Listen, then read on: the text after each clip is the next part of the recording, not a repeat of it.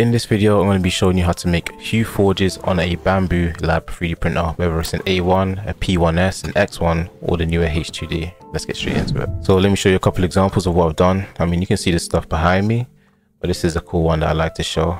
It's like a tortoise with a tree on its back, because why not? So I'm going to show you how to do normal hue forges, which is the uh, the square ones, and then the custom shaped ones as well. Okay, so obviously the first step is actually getting the HueForge software itself. So in order to get a HueForge software yourself, just go to Google, type in HueForge, simple as that, right? And yeah, it's just shop.hueforge.com. So it's a paid software, you can get a personal license. And once you've downloaded that and everything, you can also get like a free filament as well if you're in the US. But yeah, once you've downloaded that, then you want to open it. And I just go to the exe file just search it on your system and then that's going to open up the actual HueForge software. So let me just kind of take you around and explain a few things about this. So here you have your filaments that you need to fill in on the software. And the way to kind of fill in um, like new filaments, basically you have your filament library over here. You just add in new filament here, pick your color, and then you also you know, you can add in yeah, all that good stuff. Once you've picked your color, let's say we're adding a green, click OK. Put your name, put your brand, and the TD is basically the transmission distance. So it's like how kind of um, opaque or translucent or transparent the filament is. So if you can easily see through the filament, then that's going to be a high TD. So it's like a high number, like, you know, I'll say 5 to 10 is pretty high. Obviously, goes higher than that. But then like standard numbers or more opaque TDs would be like one, two, three, I guess, you know, kind of in that range. So most TDs that you come across, it's going to be usually between like one and five. And you do get some more kind of transparent ones in the higher numbers, like, you know, seven, eight, up to 10. And like transparent or clear is like the highest, which is about 16, right? So yeah, once you add it in, then it's going to save to your library. So let's just and test filament blue, just a random one. Let's say it's a 2 TD. You just want to save that. And you can filter through, so no, you can just type in any color. And it's going to have like an archive of filaments that you saved. And there's a way to do the TD. You can do the seashell test. So in the actual HueForge folder that you got, you're going to have, you know, you can open file location to get into the folder the tools. That's the seashell test and the seashell method. So basically follow the steps in this in this PDF and it's going to tell you how to kind of fill in the TDs by matching up like how much detail comes through on the seashell test that you print. So that's how you kind of fill in your your TDs and all that good stuff. But yeah, once you've got your filaments in, then the next step is to get an image. So let me see if I have like something. Well, let me just quickly go to Google. You can type in, you know, tiger. Get a nice random image. I think this one looks pretty cool. Or maybe I think something close up might be a bit better. So let's try try this. I'm feeling. I think this one probably be good. Yeah. So let's right click, save image as tiger. Simple as that. Now you go to HueForge software, you just basically drag in that file into there. And see, you can see like a representation right there of the, the model. So usually you're gonna have like some default colors. It's usually grayscale. Okay, so now that we have our image in HueForge, obviously you see the preview, you see a representation of that. Yeah, so for this example, we can just do a grayscale one to keep it real simple you know, for your first like three or four hue forges, I do recommend just doing a grayscale so you get an understanding of the process. Grayscale is probably the easiest one because it's hard to kind of get that wrong, right? So you get some practice in and then you can start to add colors in after that. So what I'd recommend a lot is just kind of practicing moving the sliders around to see how images come out. So what I like to do is see how much detail I want of the black so once I'm like happy with how much detail it is, then I'll move on to the next slider. And then once I'm happy with the detail of that, move on to the next slider. Once you're happy with that detail, move on to the next one. Just kind of follow that process. So usually you might want to focus on one specific area. Maybe let's say the eyes, you want it to be like real intense or something like that. You might do something like like that. You might just want that black area right there rather than having it show all the way through, right? So that's layer 11. This one we might pop that down a bit or up a bit, depending how much detail you want on other areas. So if we're still focusing on the eyes, then you can kind of see how much blends through and comes in. You can kind of just work your way up using that method, or you can just kind of see how it looks overall and come back to it. But you can always obviously move the sliders and see what kind of combinations look the best. And yeah, once you're happy with something, then you just want to double check a couple of things. So the width, that's like obviously the width and the height of the image. So it's going to be relative to the actual, you know, dimensions of the photo that you, you know, import into the software. And if you do change it, then it's going to automatically change like the height as well. So let's keep that in mind. So we can just have that back, you know, around 250. Yeah, so you have the base thickness, 0.72 is a pretty good number. And then you have the blend depth. So the blend depth is how much um how much depth you have of the actual layers past like the base of the model. So it's basically the actual model itself, how the colors transition and mesh together. So right now I have a 0.72 base thickness. So you see how it, it changes from here. It's still the same. But once you get to 0.72, you can see the actual detail on the image itself starts to come in. So that's basically what the base thickness is. It's like how much of the model is happening without the detail of the actual HueForge itself. Now those are kind of the main settings that you need to know of. Um, another couple of things, you can look at the LED colors and stuff like that. You don't really need to play around with these. You can just kind of leave these the same. The mesh mode, you can have like no color pop. A lot of people like to use color match, so it matches a little bit better with the image here. Obviously, for for grayscale, we don't really need to do that, so we can just kind of leave that there. I like to leave the the depth mode as dynamic, so it changes with the color changes of the filament. You can also have it as static depth, so if you drag this lower, the mesh doesn't change in terms of its um in terms of its depth.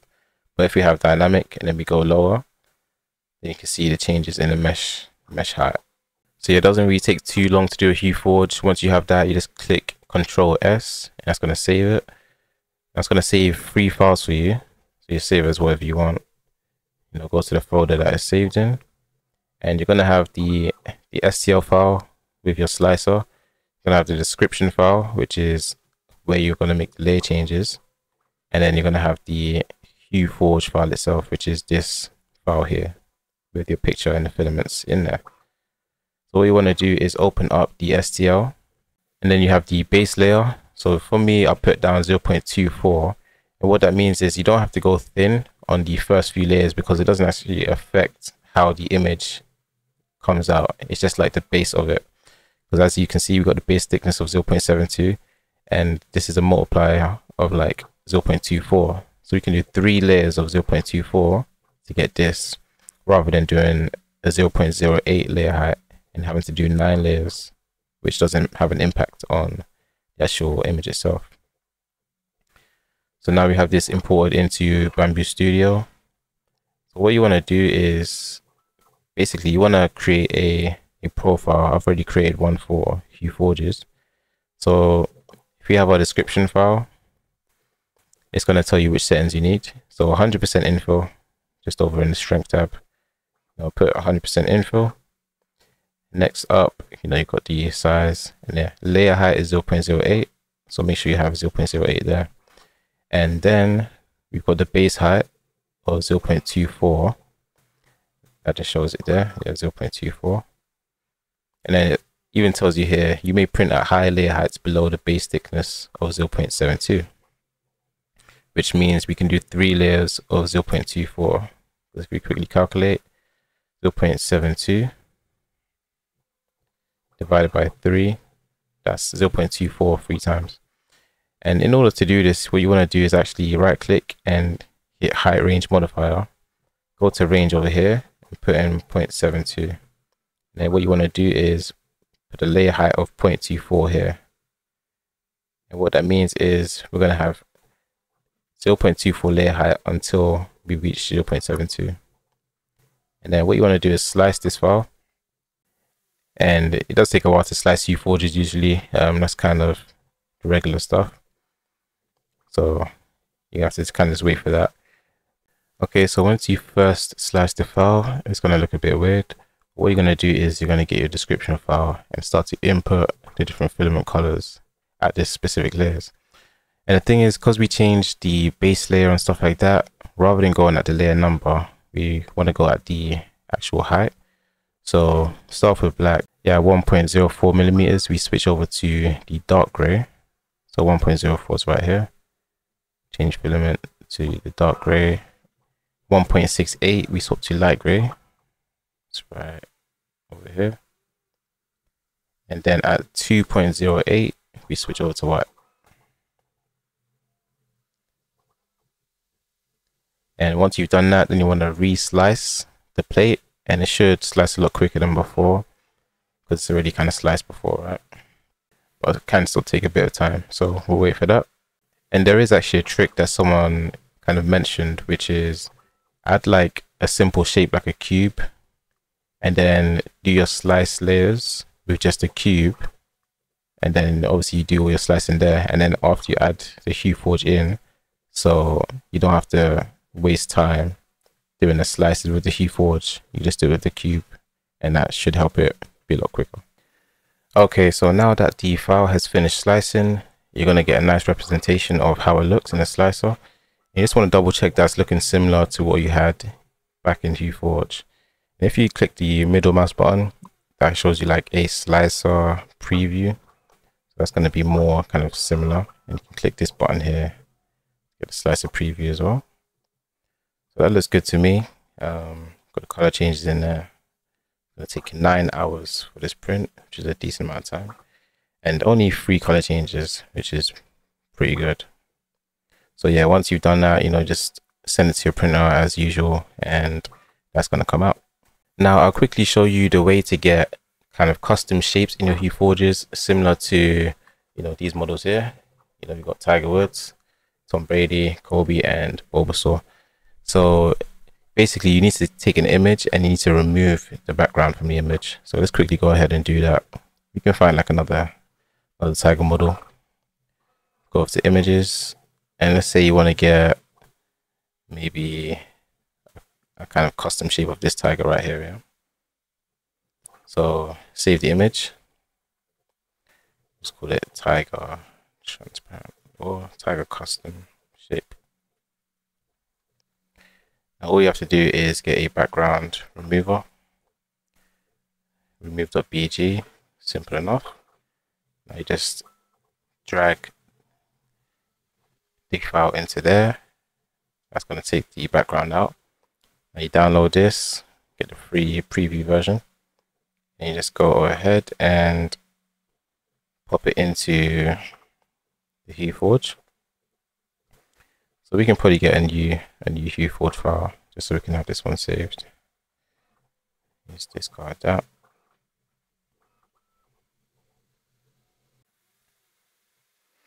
Okay, now we have our new HueForge open. Just pop in the the new file you see that's transparent. And you can tell it's transparent because of the checkered shape. And this is already selected on. If it was off then it'd show this.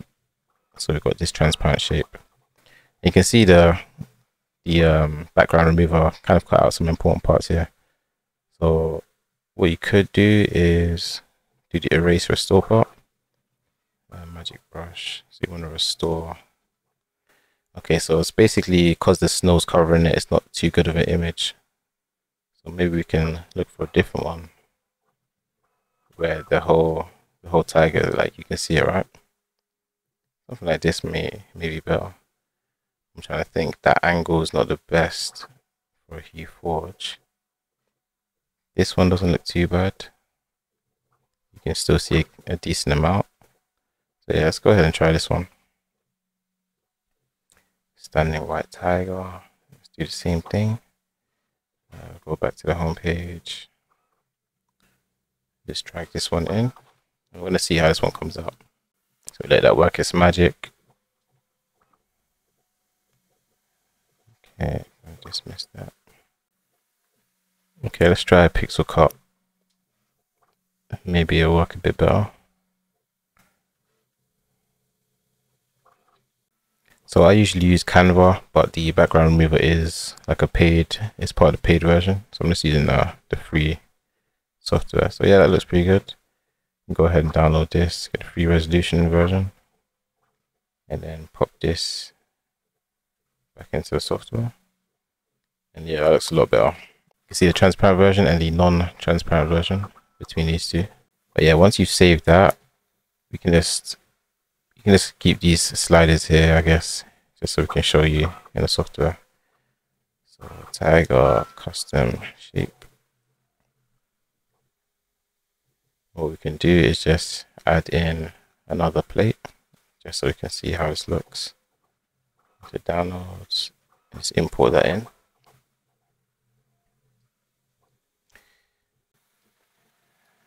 let's see so it looks like it is a rectangle but once you actually slice it you'll see the actual preview of how it looks.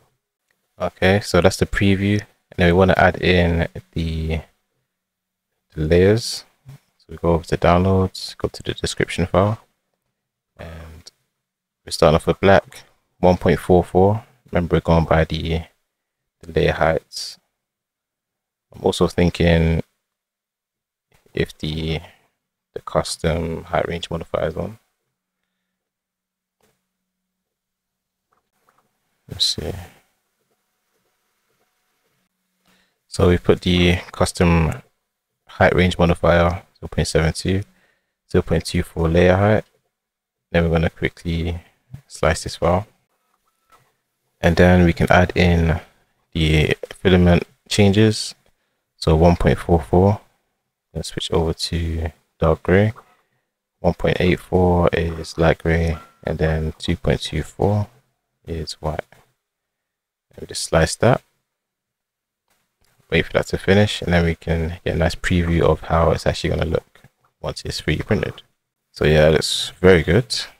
And you can see custom shape, you know, compared to the usual kind of square or rectangle shape.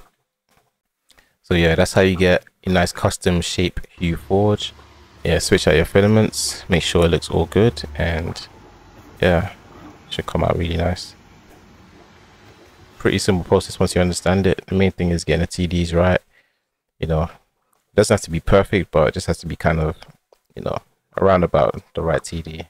You could be like one or two off, and it's gonna look a bit different, but if you're using the grayscale, it's a lot more forgiving compared to like the colors because obviously you know the grays the whites the the blacks are kind of gonna blend into each other. But the colors you're gonna see like a big difference between you know say a blue and a red for example. So yeah that's a quick video on how to use Bambu Lab to get a HueForge 3d print. Hopefully that was helpful. Make sure to subscribe like the video and comment below you know if you want any new videos or if you found this video helpful